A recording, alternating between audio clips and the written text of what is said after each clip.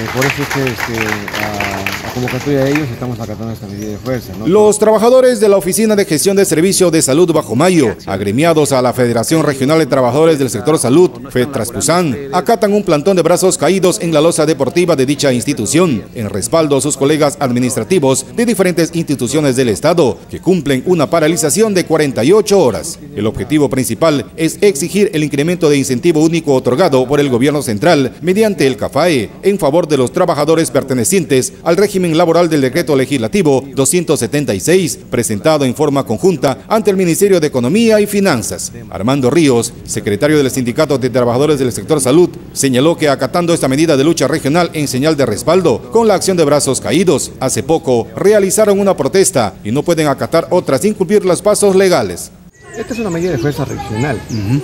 Toda vez que está convocando la Federación Regional de Trabajadores Públicos, la FERTRASPUSAN, y nosotros somos una, un base afiliados a ellos, ¿no? a nivel regional. Eh, por eso es que este, a, a, convocatoria de ellos estamos acatando esta medida de fuerza, ¿no? Todo, eh, eh, eso, es lo que estamos haciendo hoy día. ¿Qué acciones, es decir, brazos caídos, una protesta o no, o no están laborando ustedes? Sí, la, la, convocatoria puntualmente señala este, medida de fuerza dos días, ¿no? Uh -huh. Paros de 24 horas, es decir, tenemos 20, 48 horas, pero nuestro sector, este, el sector salud tiene una, es, un, es un, un, un tema laboral diferen, diferenciado a los demás, ¿no?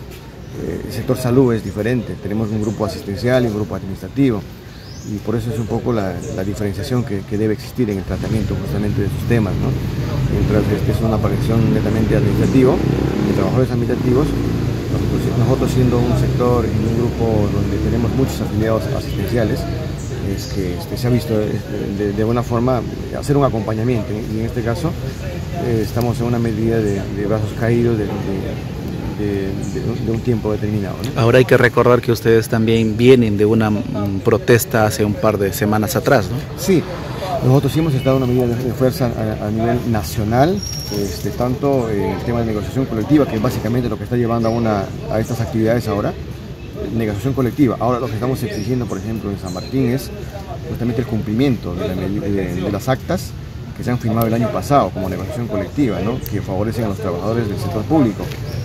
Este, sí, pues nosotros hemos venido una medida de fuerza ya a nivel nacional, que es un tema este, de negociación centralizada, pero que también implica obviamente a veces medidas de fuerza y nosotros hemos estado justamente puntualmente en estas medidas. Asimismo, el dirigente del sector salud indicó que hasta el momento el gobierno regional no ha implementado el cumplimiento de las actas que el año pasado fue firmado. Ellos, comunidad ejecutora 400, solo paralizarán sus labores cuatro horas por día.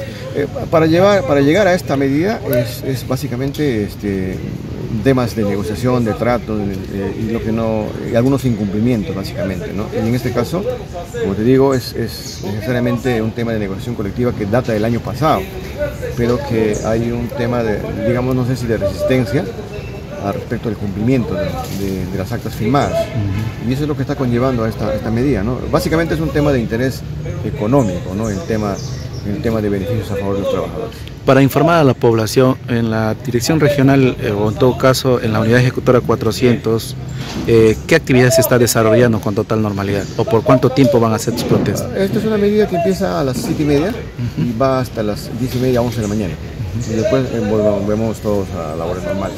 O sea, podemos decir a la población de que si van a hacer algún trámite en la unidad ejecutora 400, durante estos dos días no hay atención de 7 a 11 de la mañana. Sí, aparte de ello, y pedir la disculpa del caso es una cuestión, este, digamos, es, un esfuerzo también de los trabajadores y en ese esfuerzo lamentablemente pues este, a veces se tocan la parte de a quienes brindamos servicio, ¿no?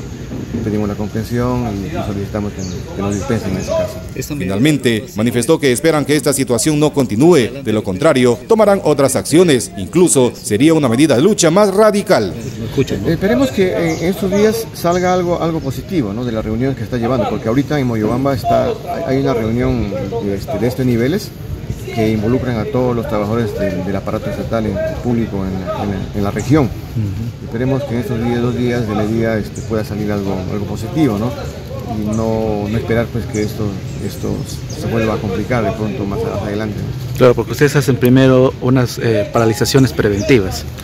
Sí, sí, es, ya, este, ha surgido incluso ¿ah? este, algunas medidas ya este, este, sobre estos temas básicamente, ¿no? Y, repito, eh, eh, hay que considerar estas cosas que a veces no, no necesariamente es una cuestión de, punto de perjudicar el, el, sistema, el funcionamiento del aparato, pero, pero a veces conllevan este tipo de cosas y le pedimos disculpas a la población.